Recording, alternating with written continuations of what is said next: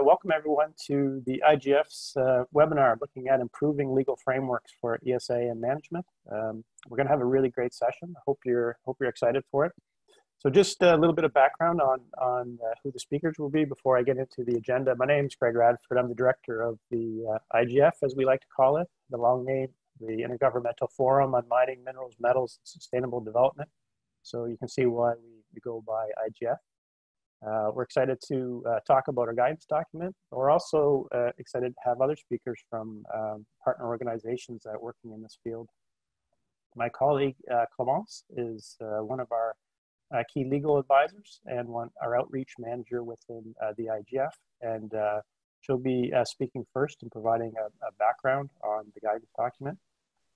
we also have Paula. She's she's the technical secretary at the Netherlands Commission for Environmental Assessment. She joined uh, last year, I think, Paula, and with she brought she brings with her 25 years of experience to NCEA, and she's the uh, focal point and lead for mining at the NCEA. And then lastly, uh, we have uh, Harriet, who's the program coordinator uh, for policy, legal, and institutional framework at Transparency International, and uh, Paula, or sorry, Harriet is based in Kenya and I'll talk about um, uh, a little bit of background uh, in a minute about the role that the NCEA and Transparency International played in the development of our guidance document. So just overview in terms of the agenda. Um, as I mentioned, I'll, I'll provide some background in terms of the guidance document and, and what uh, and how it came about and, and what we were trying to accomplish with the guidance document. Uh, my colleague Clemence will, will provide a little more details in terms of the content, as I mentioned, and exactly what the uh, what the what what what the legal framework uh, looks like. And then um, we'll hand it over to uh, Paula at NCEA, who will, will provide a, a, a, summary of the role that NCEA played in terms of providing um, an independent review of our guidance document. Uh, we were they were they were kind to undertake quite a, quite an quite an extensive and comprehensive review. They had a team looking at it, and they and they did that independently and provided their report uh, publicly. So we're we're excited to hear more details about that. And as well, Transparency International, uh, Harriet uh, will present uh, some of their um, feedback on uh, in terms of the transparency and accountability aspects of not just the guidance document, but also uh, the role transparency and accountability within environmental social impact assessment. And as I mentioned, we're really hoping for a pretty robust uh, discussion uh, in Q&A. So speaking of that, on the bottom of your screen, uh, you'll see the Q&A uh, uh, function. So what we're hoping is that if everyone kind of sends their questions as our speakers are, are talking into the Q&A box, then we will uh, co- we'll collect those. Um, my colleague Jennifer Hill will, will help help me with that, and we will um, kind of answer those questions after after the speakers. So, as, as, any questions come up as you're listening to the speakers, please put them in the uh, Q and A box, and then we'll collect those, and then we'll have uh, hopefully a really great, robust discussion. Given the participants from all over the world, we've got over 90 participants so far. Um, I think our discussion will be absolutely uh, will be excellent. I'm really looking forward to that. So I'll just very quickly, uh, for those that aren't as familiar with the IGF, uh, the Intergovernmental Forum, um, its members are governments. We currently have 76 governments that are members of the IGF. Uh, we have an executive committee of, members that uh, represent regions. So we have six executive committees that, that re represent the various regions. And then we have the secretariat um, uh, which, which I head and is based in uh, Ottawa, Canada. And the Secretariat is hosted by the International Institute for Sustainable Development. So the IGF has been around for over 15 years. We're just about to host our 60th annual annual general meeting. And uh, just a heads up that we'll, we'll be sending a, a, save the date out to everyone soon. The uh, like to just announce that the annual general meeting will be October 20th to 22nd, and this will be our very first virtual AGM. Uh, so please stay tuned for that, uh, for that information. So one of the things uh, that the IGF does as part of promoting sustainable development in the in the mining sector, which is the core uh, focus of, of the IGF as an intergovernmental forum. It's to promote dialogue and best practices for governments in the mining sector and sustainable development. The IGF created uh, what is called a mining policy framework, which, which sets out kind of the, the policy recommendations that governments should adhere to when they're developing their policies, laws, and regulations uh, surrounding, uh, surrounding the, the mining sector. And as part of that kind of policy framework, the IGF has been working on a series of guidance documents. Uh, our first guidance document was on artisanal and small scale mining. So the, the, the title was uh, ASM management, or sorry, managing ASM. We've also developed guidance documents related to local content policies, uh, base erosion and profit shifting, looking at tax implications. And we're currently working on a guidance document on environmental management, and that'll be out later this year for everybody. That'll focus on topics such as water, biodiversity, um, uh, waste management, and emergency preparedness and response. And the document we're talking about today comes out of that, comes out, comes uh, from that as well. So just, I'll take literally two minutes more just to talk about kind of the overview of the guidance document. Uh, you see the, the cover page there. It's on the IGF website. It's, it's available to everyone. And this is what we'll be uh, focused on um, today.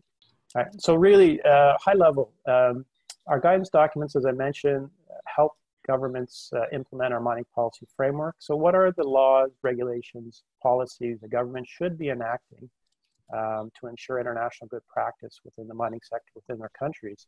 And what's unique about the IGF and our guidance documents is that they are really focused on uh, what is the role of the governments. So if in the area of environmental social impact assessment, for example, there's all kinds of uh, good practice out there in terms of what impact assessment uh, should be, what what companies uh, should be develop should be doing, and the, the, components and contents of environmental social impact assessment.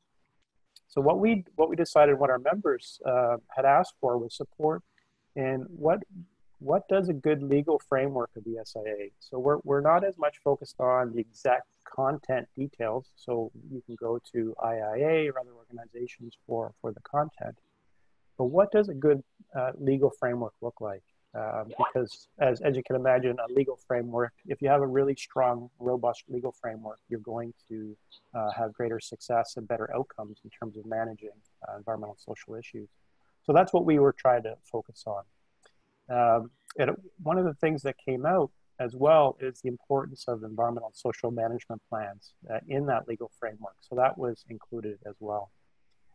As well as uh, looking at the process of granting permits and permits and negotiating mining contracts. Um, so mining contracts often uh, for large scale mines play an important uh, role in uh, supplementing the, the legal requirements imposed on projects in addition to the ESIA and legal requirements. One thing to keep in mind is that uh, for this guidance document, uh, really the focus is on environmental social impact assessment at the project level, and, it, and we are focused more on large scale uh, mining. Uh, as I mentioned earlier, we have a guidance document on managing artisanal small scale mining. So this document really focuses more on large scale mining. And I'd just like to uh, just thank uh, our organizations that have helped out with us. Uh, International Association for Impact Assessment, IAIA, helped uh, undertake uh, kind of peer review with their membership. Same with their, our uh, Franco, with IAIA sister organization, SIFÉE. they, they played a very active role. Um, as I mentioned, Netherlands Commission for Environmental Assessment, and Paula will be talking about their role soon uh, as well as Transparency International uh, a, provided uh, feedback. We had a we had a open consultation process, a public online co consultation process. Um, in addition, we had uh, multiple engagement with our members um, at, during our annual general meetings in 2018 and 2019. So this has been a uh, multi-year process coming up to the development of this guidance document we uh, consulted uh, very quite broadly with a lot of different organizations. As I mentioned, we had a, we had a public online. Um, we also had uh, support, I should say, uh, from the government of Canada, who helped uh, who helps fund our secretariat. As well as the government of Germany, who uh, provided support to the, to the development of this guidance document. So lastly, I just want to mention before I hand it over to Clemence is that, as I mentioned, uh, this was this was two years in the making, uh, and as part of our, our extensive research, we were looking. We, we did research over uh, 55 countries around the world in terms of what their legal frameworks look like. So I'm going to pass over to Clemence to, to get into a little more detail uh, in terms of the in terms of the guidance document uh, before we hand it over to Paula and then over to Harriet. Clemence. Thank you, Greg. Good morning. On behalf of the drafting team, Suzy Nikièma, Kristi Disney, Jennifer Hill, Jill Baker, Carolina Lesinger, and so and much more, uh, I'm pleased to be introducing you uh, to the guidance document in more detail this morning.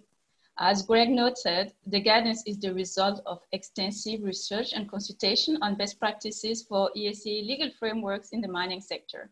Uh, the outcome is this, you know, two years research is this rich and comprehensive document, which I hope some of you have had a chance to read before this webinar. It's almost an impossible task for me to present you all of the good practices and recommendations contained in the guidance document in 10 minutes or so. However, I will do my best. So let's start by briefly discussing the broader future uh, of the guidance document, which is in the previous slide. The guidance document covers a wide range of ESIA issues in mining and provides a compendium of best practices, as Greg mentioned, strategies for governments, but also for industry and civil society stakeholders interested in improving the ESIA governance in the mining sector in their jurisdictions. Uh, the, gu the guidance is organized into four sections, each with a dedicated purpose. For instance, to make the guidance accessible to a larger audience of professionals and non-professionals. We started by helping the reader understand the key concepts and steps of ESIA processes in the mining sector. So if you are not an ESIA expert in the mining sector, section A of this guidance document will help you familiarize yourself with all the issues we dealt with in the guidance document. Section B that you see in this diagram is intended to be one of the most important sections of the guidance document as it provides a sort of model for a good and comprehensive legal framework for ESIA and management in mining. We have identified and discussed 20 components of such a framework, but with an understanding that countries have their unique circumstances and will need to adapt and adjust these recommendations in light of their own experiences. Section C in this diagram is one of the larger sections of the guidance document. It presents recommended key government actions during the entire life cycle of the mine from exploration to mine closure. Each chapter in this section corresponds to specific steps of an ESIA process within the timeline of a mining project. You see section D which presents strategies and tools to improve legal frameworks in practice, including a detailed list of assessment questions in chapter 10. This is really an important tool for countries who need to undertake a gap analysis to understand how to incorporate all the recommendations provided in this guidance document. The annex is also an interesting uh, resource because it provides additional uh, tools such as key definitions, a reading list, a discussion of key mining issues that could not have been developed further in the limited space of this guidance document. Other interesting features of the guidance include legal dispute case studies, an example of provisions that confirm the importance of some of the proposed recommendations. Now, in the next slide, let's focus on the key recommendation for a comprehensive legal framework for ESIA and management plan for the mining sector. As Greg mentioned, again, we have had a chance to benefit from consultation and contribution from experts, some of which are with us today. This has enabled us to, as I mentioned previously, to identify 20 components of a comprehensive legal framework for ESIA and management plans that actually can help government ensure a greater environmental protection and social protection for the communities while at the same time provide clarity and predictability to investors. The 20 component can be regrouped on, in 10 themes as you can see, but We will only cover a handful today due to time constraint, but I hope that you will have a chance to read the executive summary that explain in more detail these components. So we start with a commitment to sustainable development. We believe that a good legal framework is one that translates a vision for sustainable development into legal requirement, for instance, by enhancing environmental and economic and social protection on, in certain situations. For example, this might imply having a clear vision on when, where, and on which conditions mining can and cannot take place in a given jurisdiction. Uh, you will see also in this slide that we identify coordination as a critical component of a comprehensive legal framework. Coordination in a sense of ensuring an harmonious and interactions between laws governing ESIA processes, but also between government agencies. For example, responsible authorities along with their responsive roles in review, decision-making, and monitoring processes are clearly identified in the good legal framework. We also identify, as you can see, coverage of all phases of the mine life cycle. We believe that a good legal framework ensures that social and environmental requirements are defined for all phases of the mine life cycle, commensurate with the risk of the activity. For example, as you know, different phases and type of mining activities have different environmental and social impacts. Therefore, it's critical to avoid a gap in addressing and managing throughout the mine life cycle, including in the exploration phase, which is currently less regulated in many jurisdictions we studied. Our colleague from NCEA, for example, will expand more on this topic. For large-scale mining activity, we pose that a non-biased review and resulting license or certificate or approval are conditions for granting a large mining scale mining activity. We also discuss, as you can see in this slide, the issue of public engagement, consultation, and transparency. In the guidance document, we reiterated the importance of meaningful engagement and consultation, including consultation of indigenous people and taking into account their rights. We also highlighted that this meaningful consultation and engagement should happen early on in the ESIA process and in the mine life cycle. And this should also include building the capacity of stakeholders for an effective participation. In a comprehensive legal framework, requirement for guidelines regarding transparency and access to information and social information are also provided. The guidance had established, for example, that information regarding proposed and ongoing projects, their potential effect on the environmental and social potential social disruption, and related mitigation are key in achieving public and stakeholder trust. Therefore, it's really important to make sure that access to information is provided and warranty for all stakeholders. We discuss here, for example, conditions around consultation formats, language to be used, location that will be able to ensure the greater access to information and ensure an effective stakeholder participation.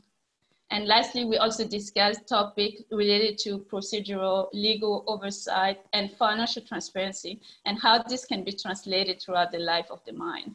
Since we have a chance today to have an expert on transparency, uh, I, will, I will stop here and we will be having um, our colleague Harriet share her experience and feedback on the guidance document on this issue and also the work that they've been doing on the ground.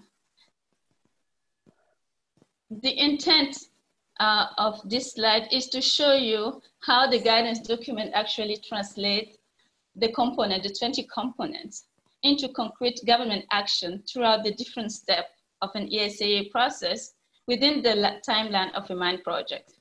You will see that the chapter are color-coded to help you navigate the document. For example, here in this slide, the orange screening process through exploration. We have provided steps that government can undertake to determine when a proposed mine needs a full ESIA or related and related government review or not. Uh, in the yellow uh, uh, color-coded chapter, which is about mine planning. We provided key government action also during this phase. We have had a lengthy discussion about how government can actually and concretely uh, build this stakeholder capacity that I've talked briefly um, in the previous slide to ensure an effective participation. We also discussed how to ensure greater transparency in practice and what consideration government can take into account in the decision to approve or deny environmental authorization for a mine project, for example. We also provided, you will see the blue um, chapter, we also provided key government actions regarding their monitoring, inspection, and enforcement roles in the construction and operation phases. So the same goes for mine clo closure planning, which we all know starts actually at the mine planning phase, but we provided key uh, government action on final inspection, inspections and decommissioning, relinquishment, and so on.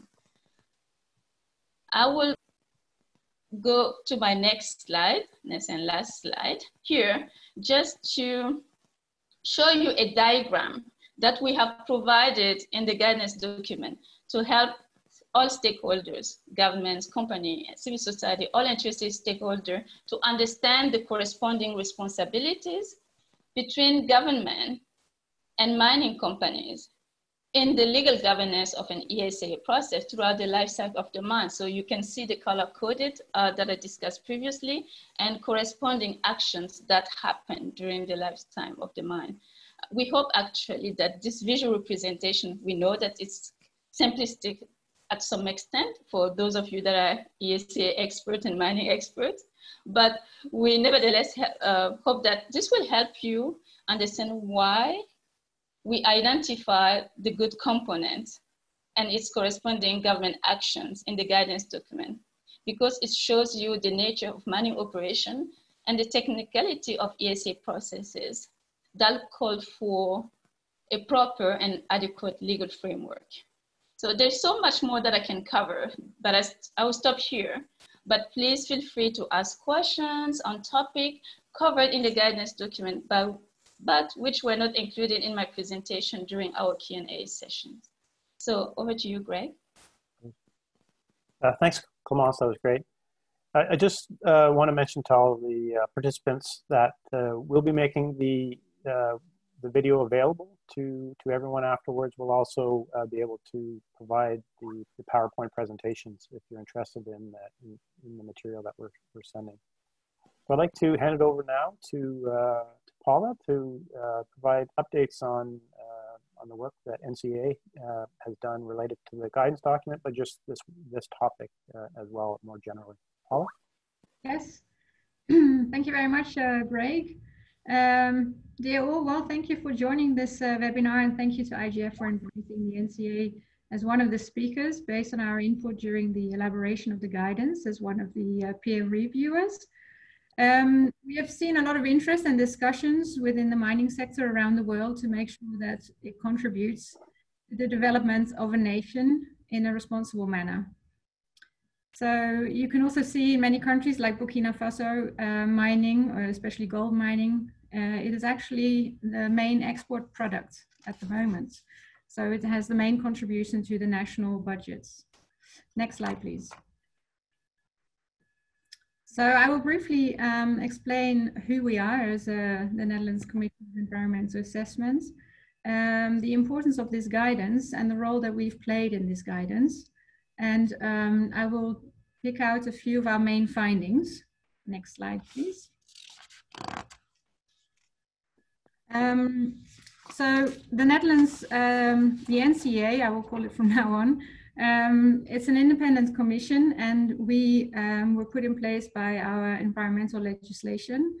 Um, and we have a specific role here in the Netherlands and we have a different role in our development corporation.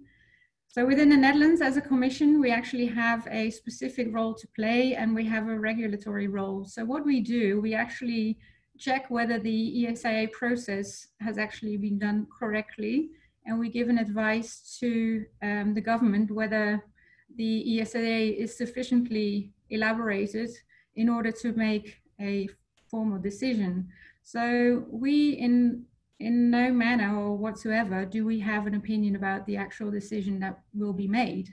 So we have a very independent role to play.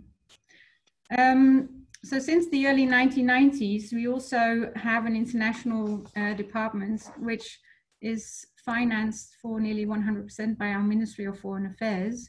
And we are able to contribute to um, the ideas of our development cooperation. And we actually collaborate with, a, in a lot of the countries with the ministries of environment. So we see the ESIA process as an important tool to show open and transparent decision making by government or governmental organizations. So this leads to responsible governance and will contribute to the sustainable development of a country and in the end to benefit the people. So in this role, we advise the governmental organization and uh, we can assist in, uh, for example, if they want to elaborate new legislation. Next slide, please. So the importance of this guidance, um, yeah, for us, it, the reason why uh, we were very happy to get involved in this guidance is due to the importance and also the possible positive impact that it could have. Because we believe this guidance makes a big difference, seeing as it focuses on legal frameworks, you know, specifically. Um, there are already lots of guidances available about how to do an ESIA, however, not specifically aimed at uh, governmental organizations and how to improve their, ES, their ES, ESIA legal frameworks and, the, and within the mining sector. So there are a few um, specifics about the mining sector which are very interesting and obviously need to be taken into account during uh, this kind of process. The life cycle of a mine from exploration, operation to the after mine closure can take many years or even generations. So this is very different from, for example, doing an ESIA for a new hospital or a new road construction. So this makes it a very specific and very interesting um, procedure. And also, um, you can maybe even say any mining activity is often contentious. So besides the great financial benefits for a nation, um, mining can also have long lasting negative impacts on a region um, if the environmental and social impacts are not managed in a responsible manner. Now, from our experience within ESIA legislation around the world, these specifics of the mining sector are not clearly dealt with. So which means that there is a lot of room for interpretation and what a proponent should or what they should not do. And also governmental organizations responsible for the ESIA are not sure either. So this leads to irresponsible decision making or also a lot of confusion and a lot of uh, time uh, being spent on figuring out what they should do. So there is a clear need to align the national ESIA legislation and, um, um, and how to combine it with the decision-making process within the mining sector itself. So in order to assure that responsible management of the social and environmental impacts are actually dealt with. So the NCEA envisaged and hopes that this guidance will lead to close collaboration so this is, in the end, we're producing paper now, but it's all about how to improve collaboration between ministries, for example, the Ministry of Environment and the Ministry of Mining. Now, elaborating, for example, specific national guidelines together could be an interesting way to move this guidance forward. And this guidance could have a great contribution to initiating these kind of new initiatives. Next slide, please. Now, the role of the NCEA, we played a role um, at the end of last year when during the first draft, we mainly um, had um, a lot of discussions about the balance between focusing on the legal frameworks, but then also uh, also giving ideas about how to do a proper ESIA. So that was um, some of the main discussions uh, that we have. Um, and also, so how do you integrate uh, the legal frameworks that are existing within the ESIA and within the mining sector. Um, so our, our main advice at that point was to focus more on the opportunities to improve legal frameworks, um, which were taken on board and um, we were very happy in March to receive a new version. Um, now I will soon go into some of our main findings. Now, one of the key aspects of uh, the Commission is that we publish all of our work. So it's available to everyone. So also our independent advice that we elaborated can be found on the website. Um, and I've given the link in case anyone wants to read it after this webinar. Next slide, please. So um, we had more than three observations, but I would just go into these three, and I will actually concentrate on the first one in, our, in my next slide, but just to, to show you that um, we saw a lot of opportunities uh, within the exploration phase, and we find this also a very interesting phase to, to discuss. Um, we also um, had quite some points on the public engagement and on transparency and access to information, which um, also I saw the IGF has done a great job on this aspect in the in the latest version. Um, so I will not go into the second part as much, seeing as the next speaker, Harriet, will go more into this point. Um, however, the NCEA would like to emphasize that we see that ESIA legislation inclu includes public participation. Certain countries actually have within their ESIA legislation, they refer to public engagement legislation, which exists separately. Um, however, in practice, what, what you often see is that it's more about informing the public. So, especially at the stage of scoping, and sometimes um, the ESIA is made available for public consultation. However, this is very often a one-way communication line. So the public gives their input, but is rarely informed about what is being done with their input. So legal frameworks, frameworks could actually improve the situation by being more clear about what public engagement means and how it should be done. And this should be incorporated in the, into the ESIA legislation. So public engagement can actually greatly improve the quality of the ESIA process, but it can also lead to a much better relationship between the proponents and the surroundings of the mine. And it makes the government more reliable if the input from the public is taken seriously and in a visible manner during the ESIA process.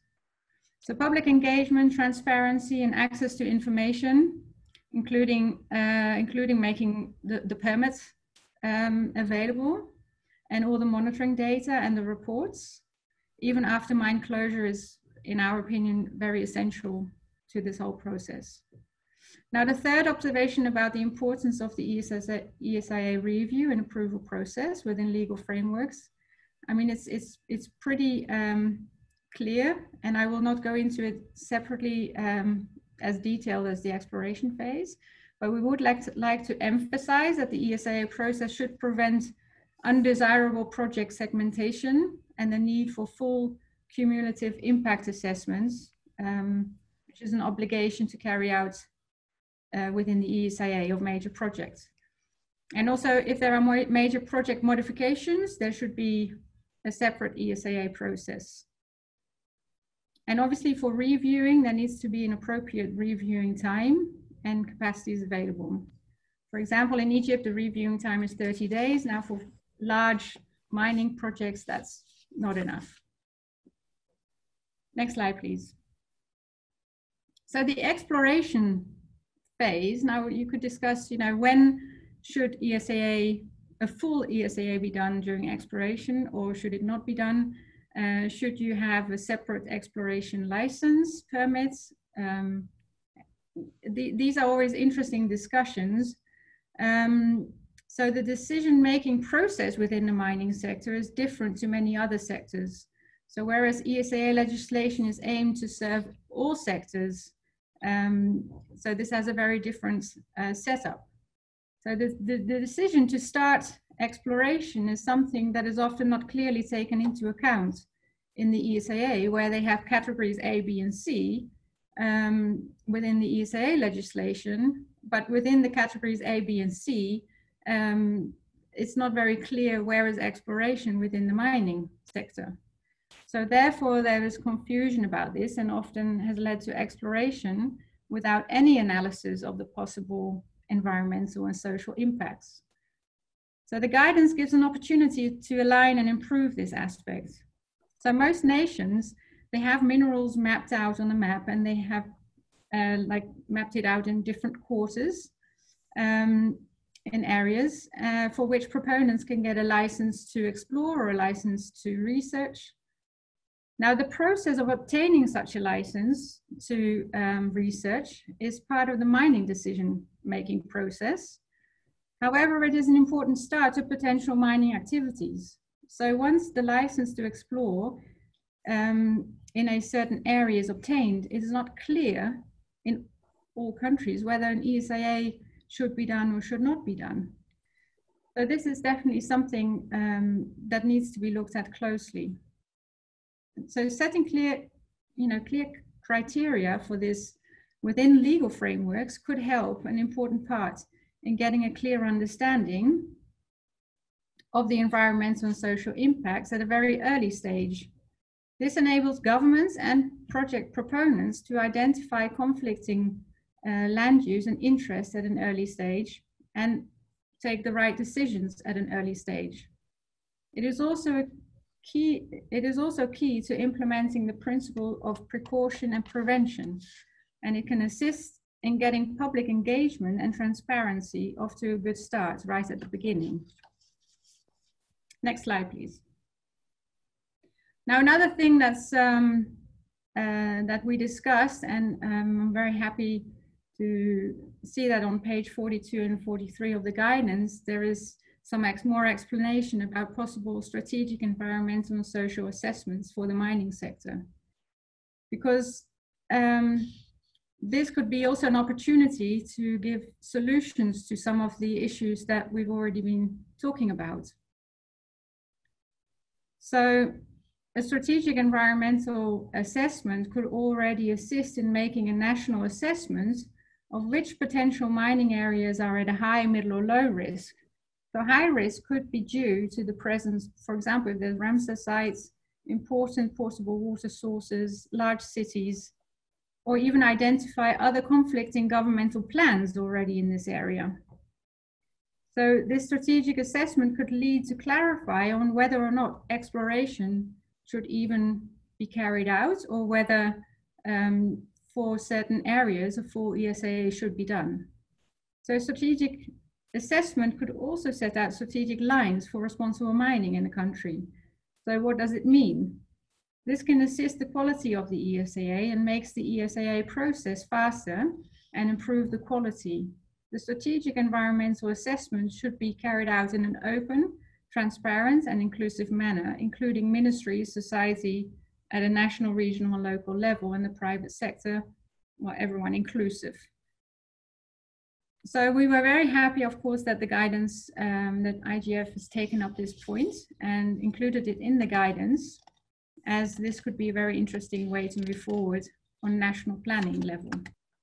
Now, this is my last slide, and um, I feel very strongly about this because um, obviously we have produced a great guidance and lots of paper, but now developing a guidance is all good and well, but in the end, um, we want to improve something in the field. So it can, this guidance can enhance how our knowledge and our capacities. However, it will only have any effect if we really do something with it.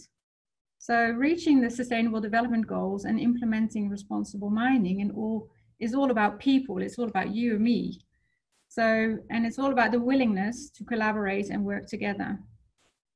So if, um, at least as, as uh, the commission, we would like to be um, well, if there are people who are interested to looking at how to implement this guidance, for example, um, if there is a certain country that would like to look at the ESIA legislation and their mining decision-making processes and legislation, and for example, would like to develop specific guidelines within their country to improve uh, this process, then we will be very happy to assist in uh, making this possible. So thank you very much for listening and I hope this information has given you some new insights and ideas and um, maybe we can discuss further during the Q&A. Thank you very much, Greg. Uh, thanks, Paula. So next, uh, I'd like to uh, hand it over to Harriet to talk about uh, the work Transparency International uh, does in this area. Harriet? All right, um, thank you. Thank you very much, uh, Greg. Thank you, IGF, for um, opportunity to participate in this um, important forum. Um, we were, you know, um, Transparency International um, participated as well in, in reviewing the document and uh, we are happy it's now out.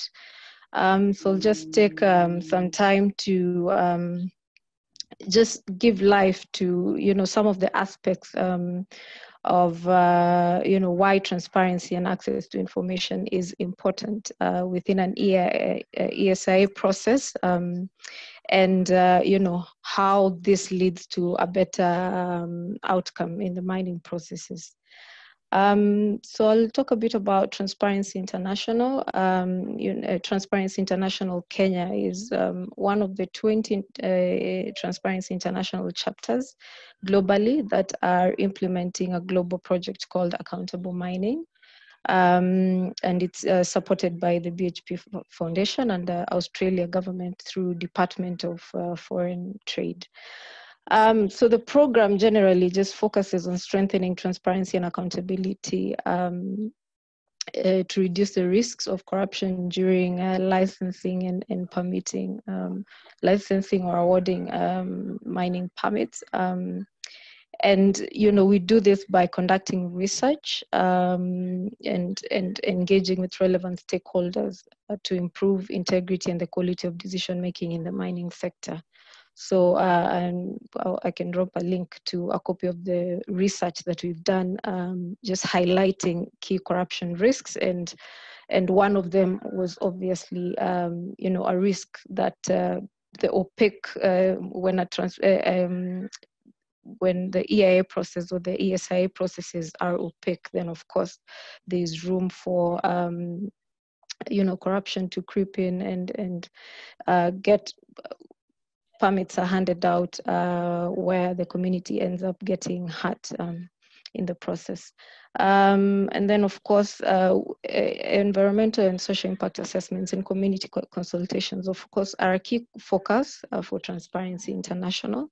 Uh, because if there are gaps in the process, um, then of course there's a risk that decisions to approve mining projects are not made in public interest. So you can, there are situations where, for example, the company uh, or and government would would collude, um, you know, to forward or to advance a project at the expense of um, of a community.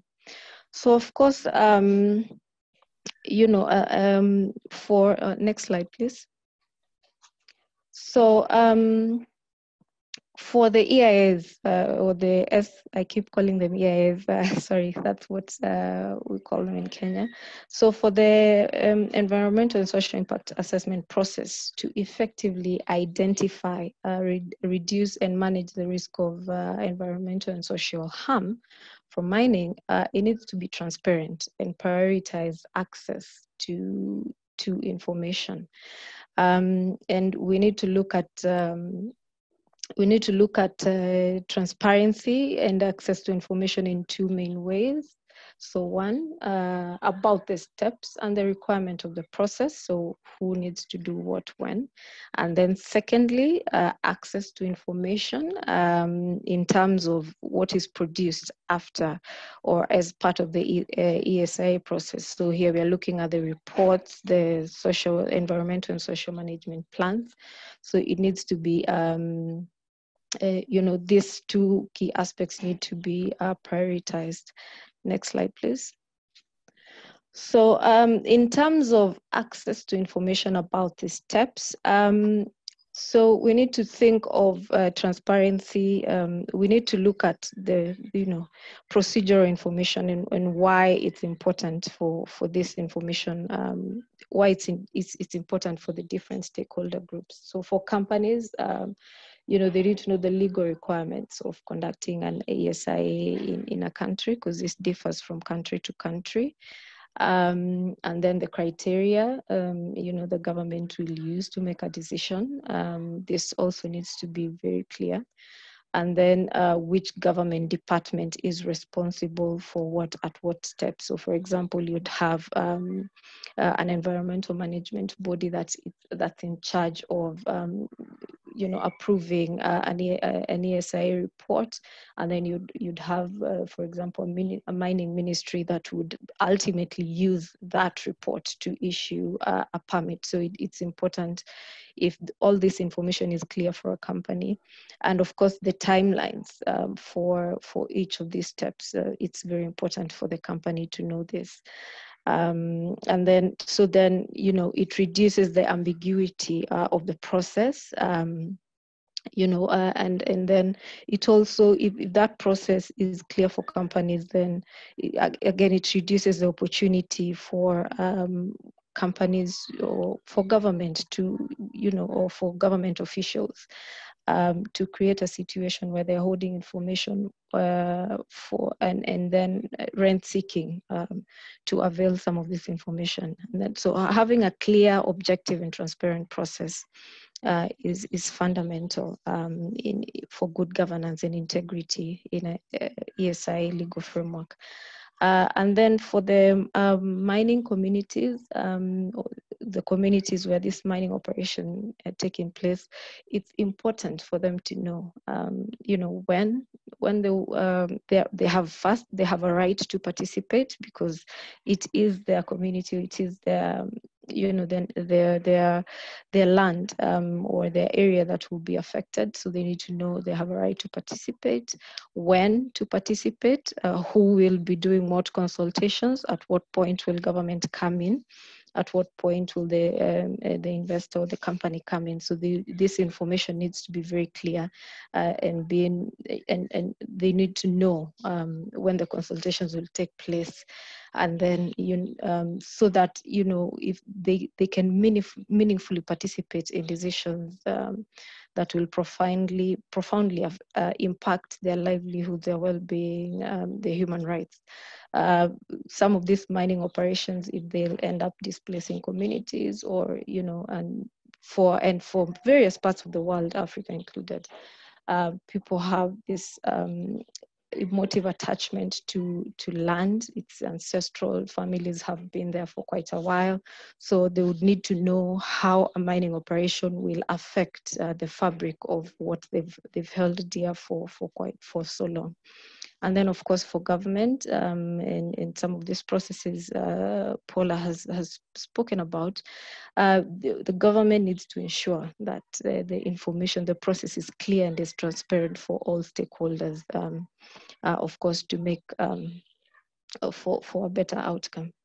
Um, next slide, please.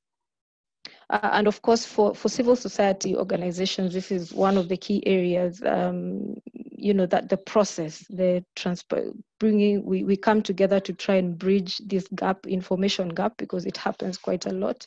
So you'll find civil society organizations getting in there, you know, trying to simplify processes, um, you know, trying to go to communities and say there's a mining operation about to come in, so this is a process for ESIS. And we've had chapters that are currently doing this. Uh, our colleagues in South Africa have uh, tried to simplify uh, some of these processes. Uh, for um, and then the second part I'd spoken about, you know, access to information uh, produced as part of the env environmental and social impact assessment process.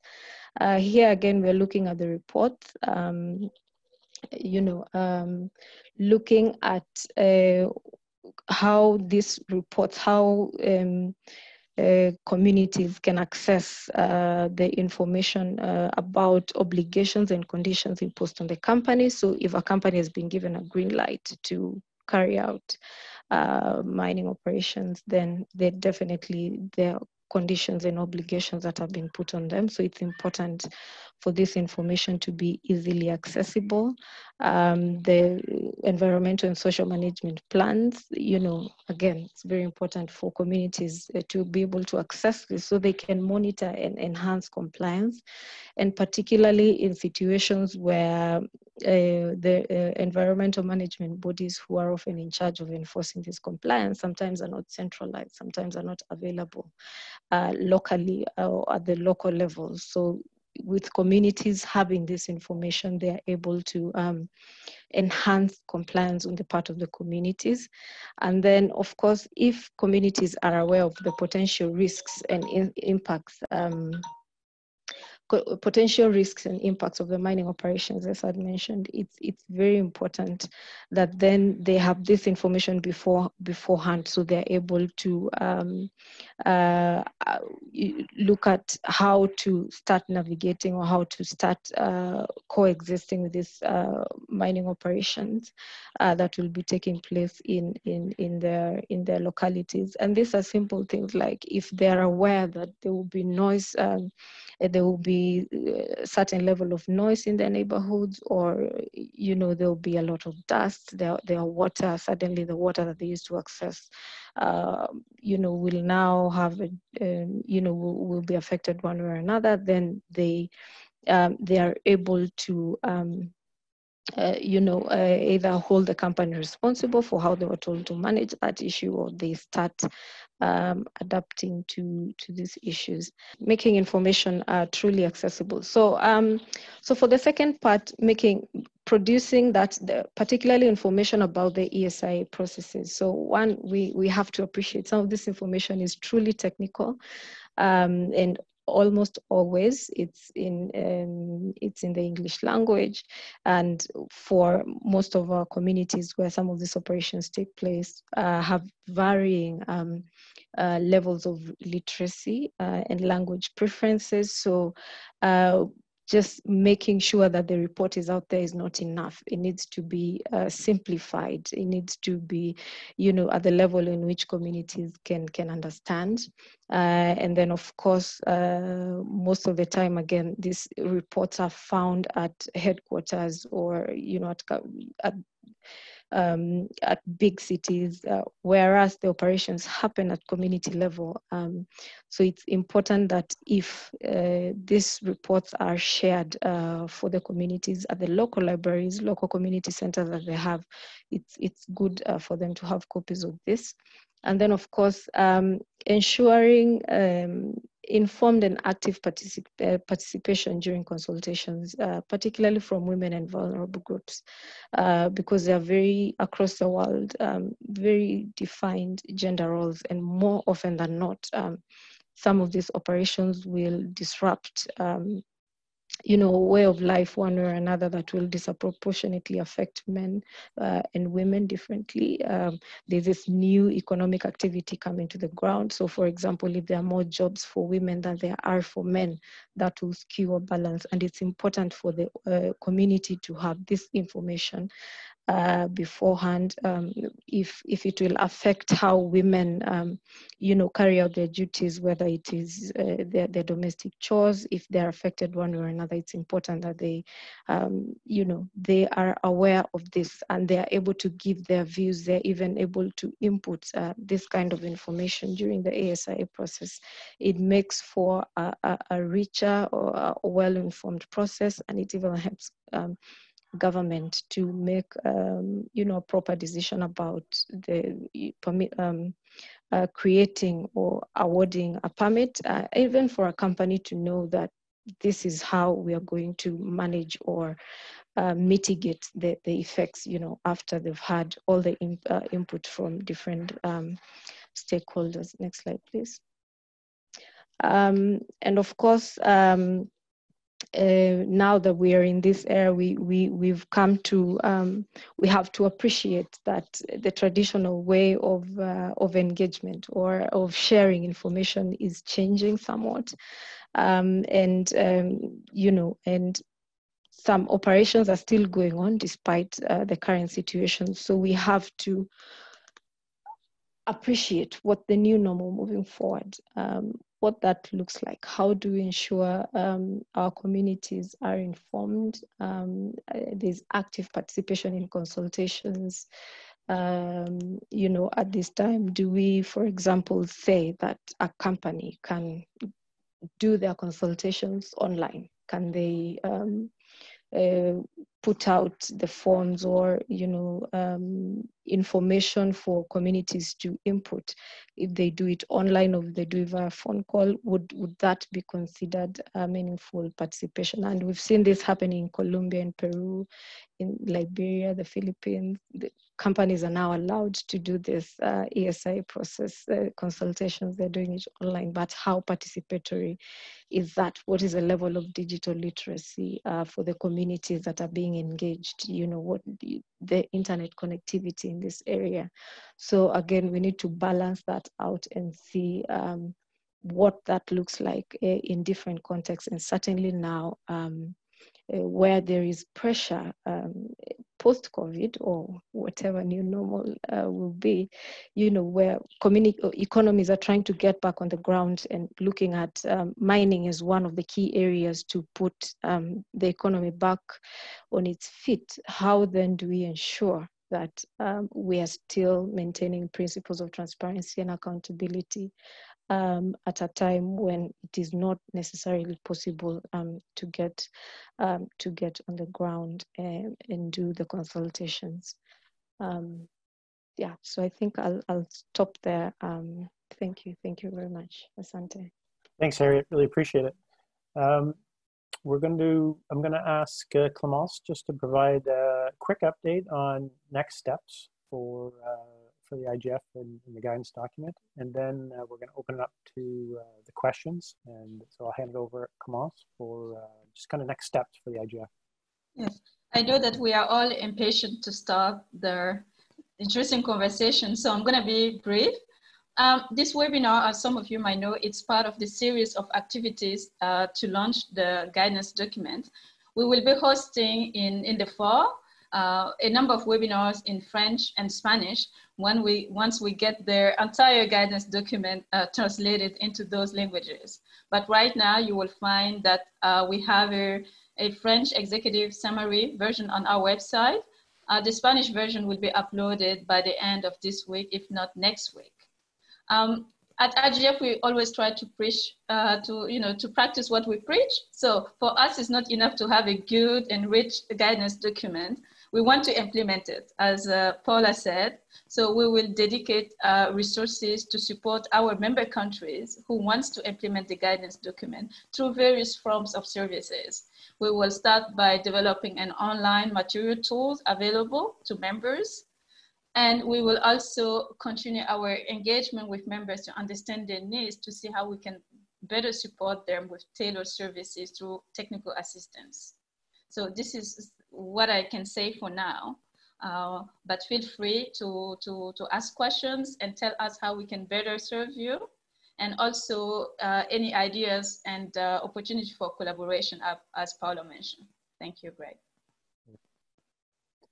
Thanks, Klaus. We'll move over to uh, kind of the Q&A part. And I'm just going to um, I'm just going to read a couple uh, question comments that came in, and then we'll, we'll open up to to uh, broader discussion. So there's two two that came in that are related to the exploration phase that uh, Paula was talking about, um, as well as kind of the early and the exploration phase of, of mining, but also the kind of early assessment phase of um, of uh, of kind of scoping. So, for example, um, the question is, you know, how do you respond to claims that early assessment and ESIA scoping simply extend the time and cost of preparing ESIA and, and securing project approvals and thus make a country less competitive? Um, you know, is it better to proceed directly to kind of the ESIA phase? And uh, another comment about kind of the costs associated with exploration uh, phase and, and how many projects uh, may go through exploration and not proceed to, to full uh, project development. So there, there's, uh, you know, we've got some comments related to kind of exploration and um, and early assessment. And does that add time and cost? And does that make kind of a, a country uh, less competitive? Um, so I'm going to ask my uh, my colleague Jennifer if she um, Jennifer's got uh, uh, many decades of experience working uh, not just as an ESIA specialist, but specifically in the mining sector. Um, so I'm going to ask Jennifer um, to uh, see if she's got any any thoughts on those comments. Sure, thanks, Greg. Uh, you can hear me? Yes. Okay, great, thanks. Um, yes, it, it, can definitely be seen as costly um, doing ESIAs early um, for the exploration stage. And um, you'll see through the guidance really to take a, risk-based framework um, is really the important thing. Um, if you can set up a legal framework that uh, has the early or, or, standard terms and conditions for early exploration, um, but as the exploration goes on, more impacts are potential potentially there. And if you take a, a risk-based framework, then you can um, have the standard conditions and then do a, a semi-detailed, what is provided in the guidance is a semi-detailed impact assessment. So it can be a smaller one. It doesn't have to be full-blown. So you can scale it and, and minimize the cost that way. Um, also, as Paula was mentioning, doing um, your land use planning and your strategic use uh, environmental assessment, strategic planning early is important as well because then you can manage some of the um, expectations of the mining companies and and of the government uh, early to minimize those costs um, and manage the expectations so that the impacts are minimized along the way and everybody knows what to expect going forward. Um, so it doesn't necessarily make a country less competitive. Um, what it can do if you set up the framework properly uh, or effectively is set up expectations for the companies and actually make it more um, more attractive to investors uh, to come and mining companies to come into the country because they know what to expect. Um, and so it actually is, is more competitive to have a strong ESIA framework that manages it at a risk-based and ESIA based framework. Does that anybody want to answer or add anything to that?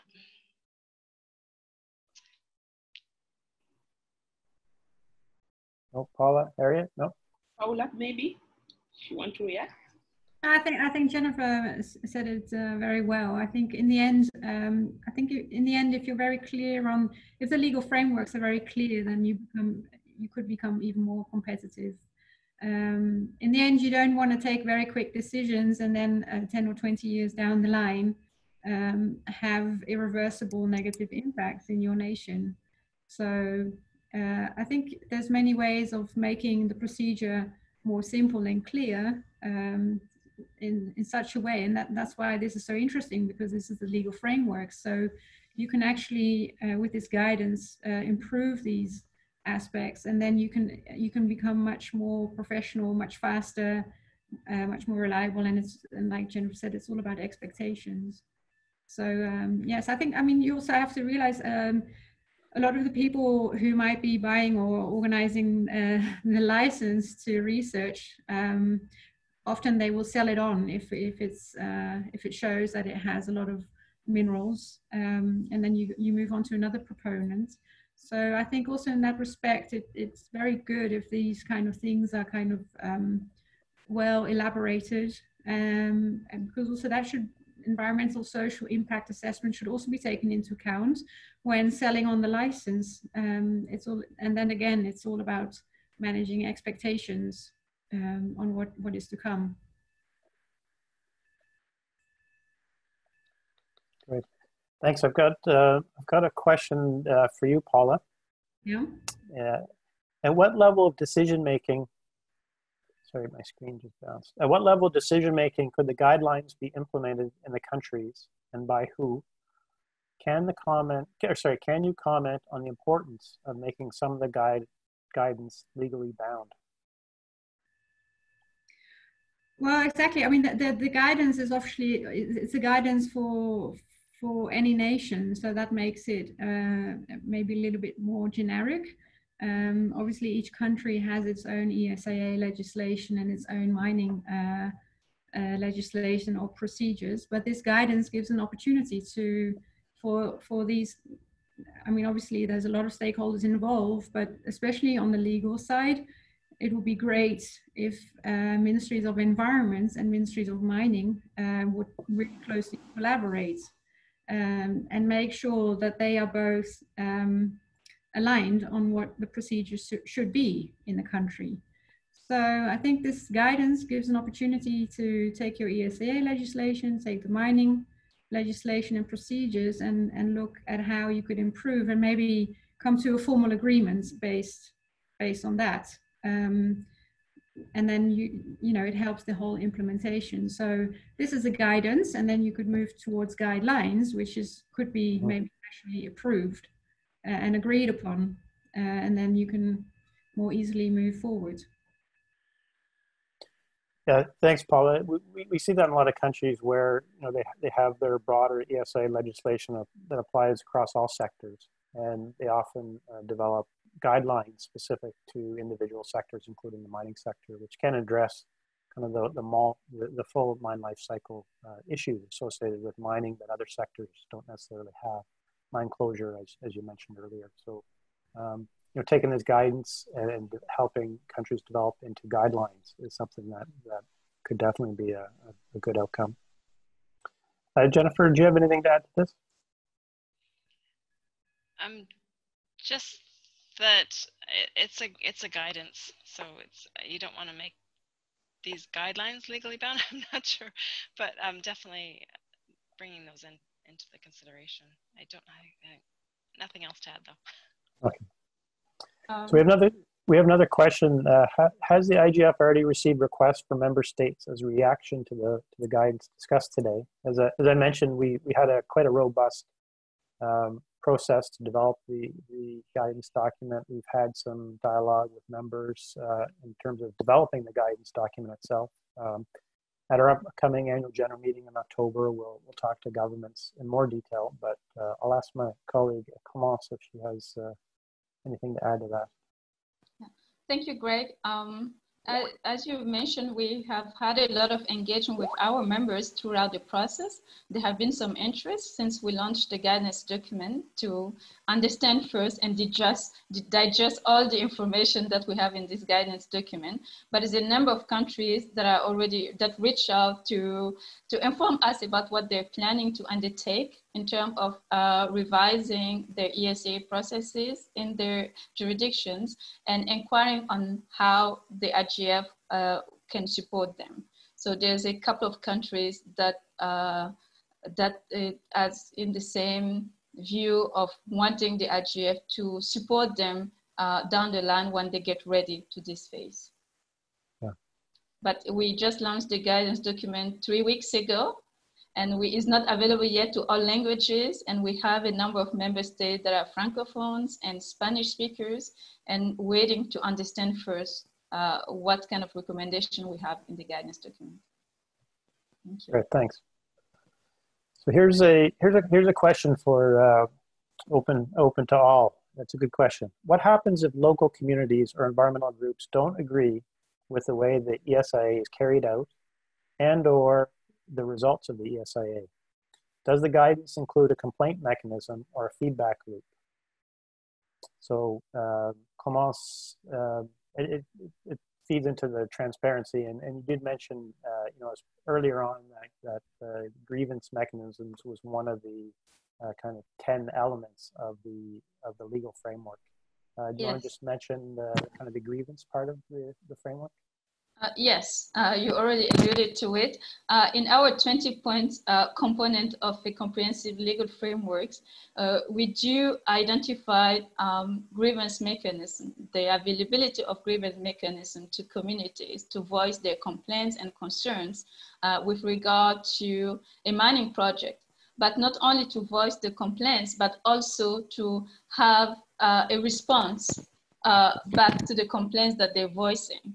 Uh, throughout the guidance document, uh, one of the elements that we have highlighted is that in some instances there's misunderstanding from stakeholders, including from communities, about how a mining project works. So uh, building, that's why we insisted in building uh, community capacity building uh, capacities to be able to understand, have a meaningful consultation and understand and voice their concern based on uh, the realities of mining projects. So it's, uh, as uh, Harriet mentioned, uh, it, there's a lot of emotional reactions to some of mining projects because it's happened in, you know, traditional lands and with a lot of, um, uh, lot of attachment, but helping community. And this is the, also one of their one of one of the tasks of government to help the community understand and engage uh, with mining companies to find a common understanding, a grounds for uh, the pursuit of a mining project, for example. Thank you. Thanks. Here's a here's a another interesting question. Is it recommended practice that the regulator use peer review peer reviews to support project evaluation, for example, in technically complex cases? Maybe I'll uh, ask uh, Paula to jump in first. Like, do you does NCEA um, see many countries with requirements for peer review uh, when when NCEA is asked to to play that role? Is that uh, is that because the country has a, a, requirement for that, or is that kind of, or is that often just done for individual projects? Yeah, and what we see is that in in uh, certain countries, it's not actually explicitly mentioned in the legislation. Um, in some countries, they consider peer review as being uh, even as if the environmental agency doesn't have enough capacity so they hire someone else to do their review for them but that's obviously not the same um, in best practice um, it is definitely uh, something that is um, it's part of best practice to have third party um, reviewing so um, yeah, it depends on the on on the current situation of the legislation in each country, and and I mean we can practically say that each country around the world has ESIA legislation, and there's still a lot of room for improvements. Um, and as a commission in the Netherlands, we we have a specific mandate, um, but uh, as I understand, we're the only country that has a commission like our commission, uh, who plays an important role in the Netherlands. Um, but the only thing we do is just um, advise the government on whether the process was done according to our legislation, yes or no. Um, so that's that's still in many countries there's still a, yeah room for improvement on that aspect. Yeah, I think it's definitely good practice. Uh, my experience is uh, I don't know many jurisdictions or, or, governments that, that have that as a requirement. Um, you, you, you, sometimes see that for uh, in some in some countries for very large complex projects. You know, there may be a panel review, like a, a, dedicated panel review uh, that may require some independent um, uh, studies done, but it's generally, um, I would say, not as common and, and more limited to very specific projects and, and not kind of broad based. So a uh, question that just came in. According to the review of best practices, at what stage of the ESIA process is better to do uh, consult, prior consultation? So maybe I'll hand that over to, to Harriet. So in terms of the kind of transparency and, and uh, consultation in, in the process within the life cycle of, of a mine, um, what, what, is the, what is the right stage for uh, for consultations to to start. Uh, we've had conversations like earlier. We were talking about exploration, um, you know, with with mine and and a number of mining uh, explorations uh, don't go forward. Um, some do and some don't. Um, so where where you know is there a right time for consultation, or is it really based on kind of the individual aspects of, of each mining development? Um, I would I would say individual aspects um, of of each project, but um, at the exploration stage, would definitely give you more information, um, you know, and more insights on where the community is at at any one time. Uh, we've had projects that have, have completely stalled because the community, uh, you know, rebelled um, completely against a project. Certainly here in Kenya, projects stalled for over 10 years uh, because the community just came out strongly and said, you cannot, um, you may have been given a license, but we will not allow you to do this simply because they were not involved in the, in the, in the first place. So as, early as possible. Um, and I understand, uh, you know, there was a question about cost considerations for the exploration stage. Um, but if, you know, whatever the legal requirements of a country uh, spell out, yes, but as a best practice, I, I would say, you know, going as early as possible, um, even if not full scale, just trying to get, um, you know, insights from community and then uh, move it from there. Great. Th thanks, Harriet. I want to just uh, come back to you. You mentioned in your uh, presentation around COVID-19 and um, kind of the challenges of, of, what the new normal looks like. Has Transparency International seen any, it's early, but have you seen any trends in terms of governments moving consultations online to try to speed up kind of the approval process for example, you mentioned mining being an important economic driver in many countries, and that'll be part of the um, economic uh, rebound um, uh, for countries. Um, are, you, are you seeing any countries that, that have started requiring consultations to be moved online, or see any trends you've seen so far? Um, yes, um, actually just mentioned it briefly. So we've seen um, Colombia, Peru, Liberia, and the Philippines they're actually allowing companies to do these consultations online. So it's something that's already coming up, and we're afraid that, you know, uh, if this continues, then there's a huge chunk of the population that will be left out um, because they're not able to effectively uh, participate, either because they don't have internet connectivity or, you know, the digital literacy, as I've mentioned. So this is something definitely um, that we are looking to see how then do we still uh, enable our communities to participate in this process or how can we as civil society engage government to make the consultations more participatory even in the situation uh, we are in it's a huge it's definitely a, a it's definitely a huge challenge absolutely um, i'm going to uh, direct this question to to Clémence. Uh, are there any recommendations in the guidance document uh, to prevent large-scale mining companies to have double standards? For example, when the ESIA regulatory framework in the host country is lacking, the company should apply the best practices standards applied in the in the home country. I guess that means the, the home country of, of the mining company in an international mining country uh, um, situation. So uh, do you want to just mention kind of the um, uh, kind of when developing legal frameworks, um, kind of taking into, into account kind of international good practice? Uh, yes, uh, thank you. I've, this is an interesting question. It's a challenging one.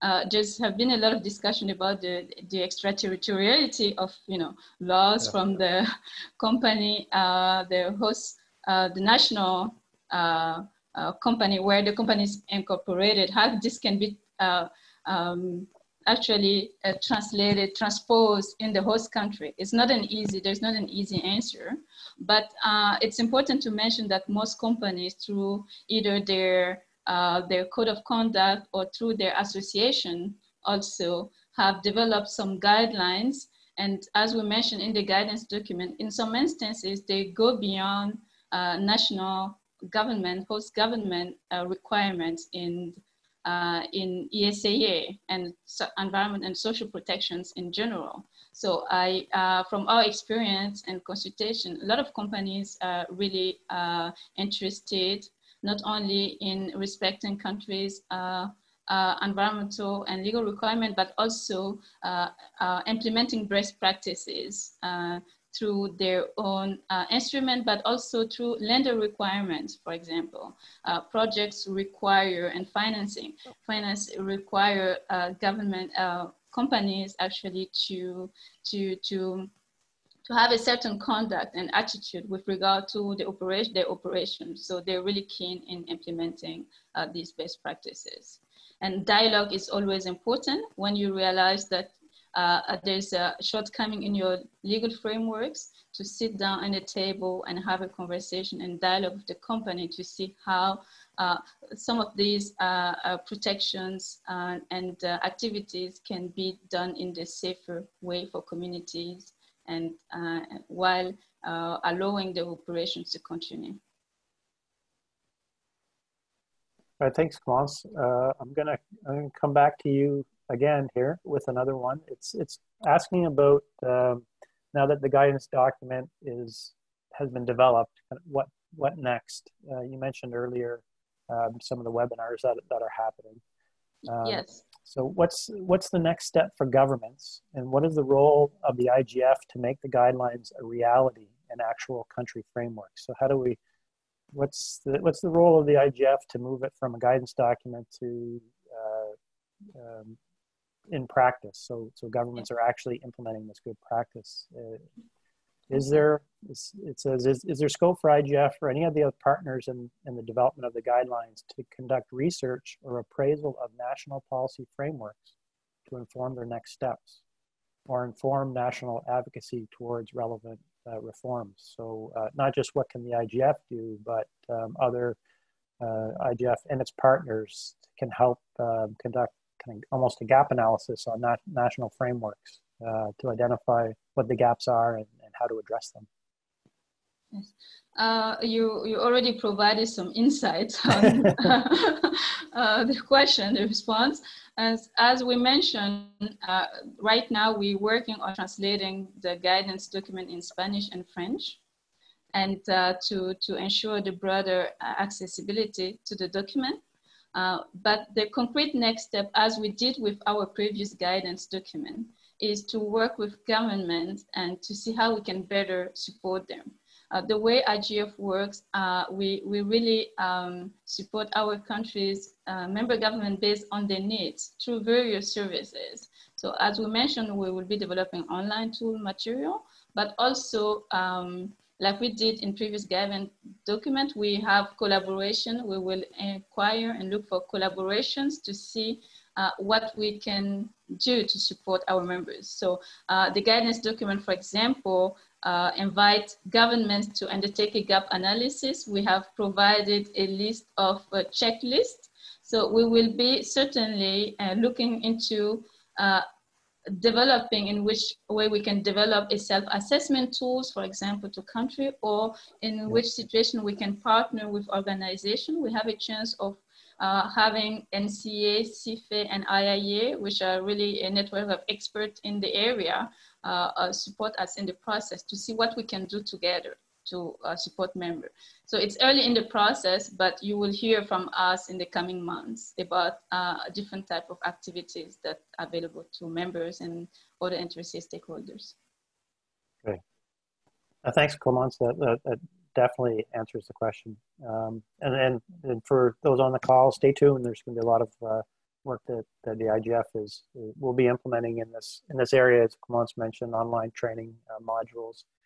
And, and uh, Paula mentioned uh, in her in her comments that the you know the importance of this guidance is it really fills a gap and it focuses on you know how to improve the actual legal frameworks for ESIA in, in the mining sector. And, and there really isn't, there really um, has not been any guidance specifically in this area uh, to date. And so this is uh, the, why this government, this guidance document was created and, and why it's important. So we're uh, closing up, uh, we're, we're, coming close to the end of our time. So I just wanted to uh, provide any, um, provide an opportunity for any of the panelists if, if you have any final comments before we, uh, before we sign off. So um, we'll go in the same order. Uh, Clémence, is there anything uh, you wanted to mention?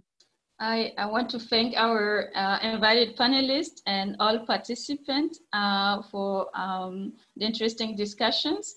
We will be sharing uh, the presentation and the recording of this guidance document, including additional information about next steps. Great. Excellent, thanks. Uh, Paula, is there anything on your side?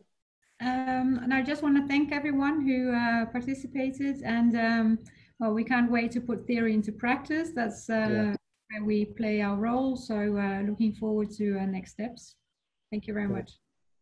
Yeah, thanks again for NCEA's participation in the process and for um, um, you know, your reference to work that NCEA can do going forward in, in, in making this a reality in, in, countries. And we're, we're excited to work with uh, um, to work with our members and, and also hopefully with NCA on this uh, with our member countries. Uh, Harriet, over to you. Is there anything uh, you wanted to close out on? Um, first is to say that, um, um, of course, it's a great job that IGF has done to uh, to create this guidance document, and even for civil society organizations, it's a document that we can go to government with and say, this, um, you know, this is where weaknesses in our ESIA processes are. Uh, how can we work together to strengthen them? You know, just based on this document alone, and uh, you know, and with a network of, uh, um, you know, the chapters that we work work with in Transparency International and definitely other civil society organizations working in the mining and extractive sector. It's definitely um, a, a, very important document to advance um, that agenda. And of course, uh, thank you for um, to IGF for having us be part of this and for everybody um, in participating in this session. Thank you. Thanks, Harriet. We really appreciate Transparency International's uh, work uh, with us on the guidance document. Your colleague Lisa has been very, very uh, instrumental in, in, working um, in the mining sector and the work Transparency International is doing. So we, uh, really enjoyed it and, and, thank you very much. So that, that, uh, that concludes our, our webinar. I really appreciate everyone uh, taking the time to, to join us today. And as Clémence mentioned, our guidance document is on, on our website. Uh, the executive summary is translated into French. Uh, our Spanish is coming close soon this week or next, and the full guidance document will be translated into English and Spanish as well. We look forward to seeing you soon, and uh, thank you everybody for joining. Really appreciate it.